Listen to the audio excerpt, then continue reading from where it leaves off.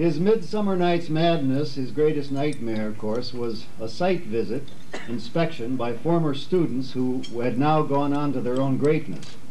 In fact, during troubled dreams, he was heard to shout at a retreat frequent, uh, recently, out, damn spot, on this infernal sonogram, because Pelson is in charge of the site visit.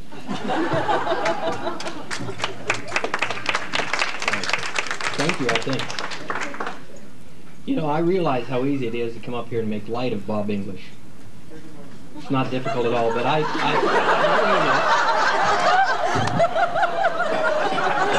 now, really, I have, a, I have a few very serious things I wish to tell you. I think they're very significant in the career of R.H. English. But before I do that, I have to tell you a little bit about myself. The first thing is I'm Rod Pelson. Ro- I'm Rod of the fir- Pelson. Ro- now I know. I remember. Uh, pardon me, ladies and You gentlemen, and just I a moment were, here. we were the first students. Remember the first students Anybody know this fool? English? I'm Dar- I'm Daryl Anderson. Anderson. Daryl Anderson. Wonderful. There's another one. Steve.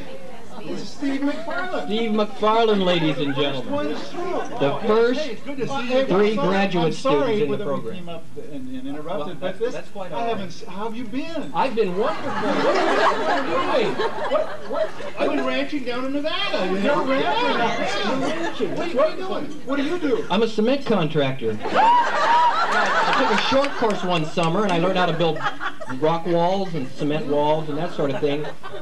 Rake leaves. What are you doing now? I am a cement. Uh, no, I'm not a cement contractor. I'm a Simca repairman. I, I- I started out repairing. I have to do Studebakers and Packards now as well. You do those in your spare time? That's right. You, learned that from English, I take it. Uh, I learned something from English too about that. That's how I got into ranching. It was a famous cry, "Hi ho, Simca, away!" I remember that. And I, uh, I remember, you know, uh, working with English in the area of voice has really helped me because I raise ponies, you know, and they're always a little hoarse. That's right.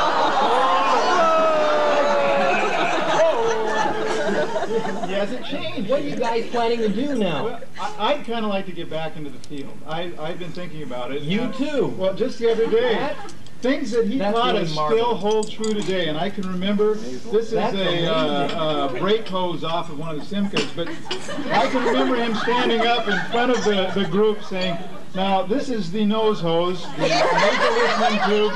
And you simply place one e- end in your ear and have the child go sissy, sissy, sissy, sissy. And you, oh, oh, no, this end goes, but he actually did this in front of the group.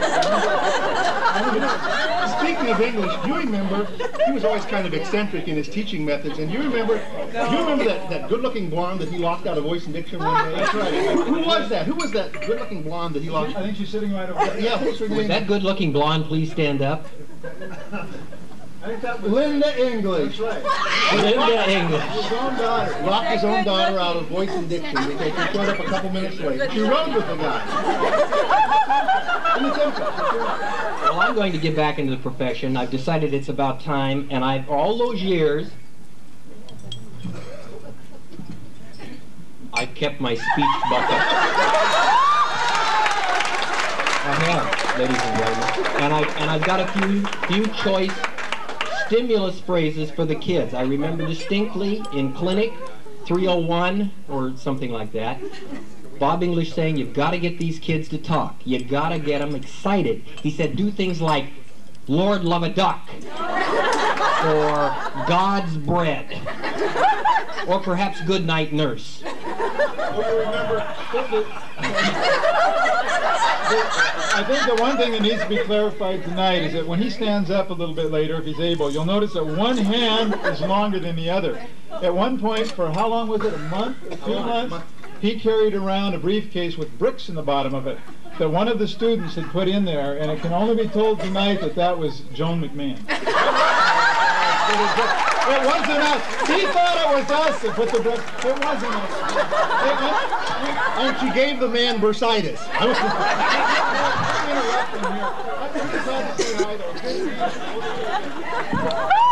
I think we've done enough harm for one evening, ladies and gentlemen.